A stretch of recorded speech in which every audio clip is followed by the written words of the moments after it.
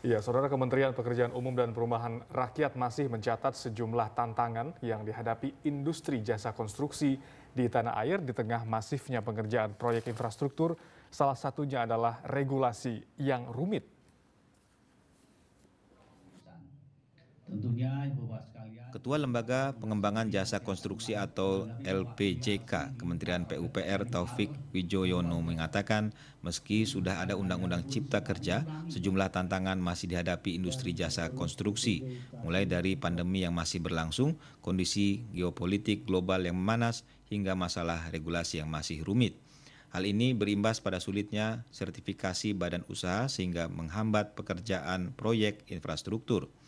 Untuk itu, LPJK memastikan pihaknya bersama sejumlah lembaga dan kementerian terkait tengah merancang peraturan menteri untuk memberikan relaksasi bagi badan usaha yang sedang berproses mendapatkan sertifikasi dapat menjalankan kegiatan usahanya. Dua hari terakhir ini sedang dibahas per permennya dan kita harapkan dalam bulan ini ya. Tentunya ini di luar kapasitas kami, tapi tentunya teman-teman dari Dijen Bina Konstruksi, teman-teman dari PUPR akan berupaya secepat-cepatnya untuk menyelesaikan ini bersama juga dengan kementerian yang lain dalam ini Kumham, Kemenko Perekonomian, Satkap dan lain-lain.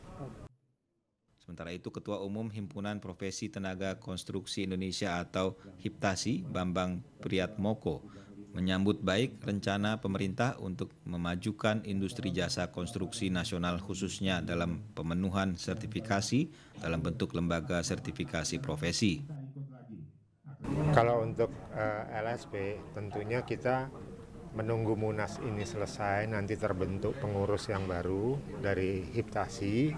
Nah, dari Hiptasi yang pengurus baru inilah yang nanti merekomendasikan pengurus LSP saat ini Himpunan Profesi Tenaga Konstruksi Indonesia (HIPTASI) tengah fokus membentuk lembaga sertifikasi profesi dan pembentukan pengurus baru.